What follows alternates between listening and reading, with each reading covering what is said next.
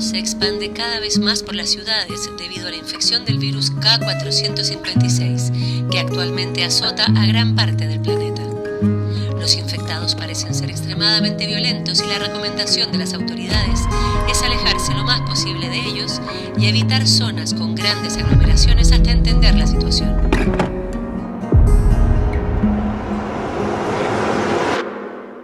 Me gustaría agregar que aquí somos profesionales y no queremos parecer sensacionalistas, pero la palabra zombie ha sido utilizada para describir la situación.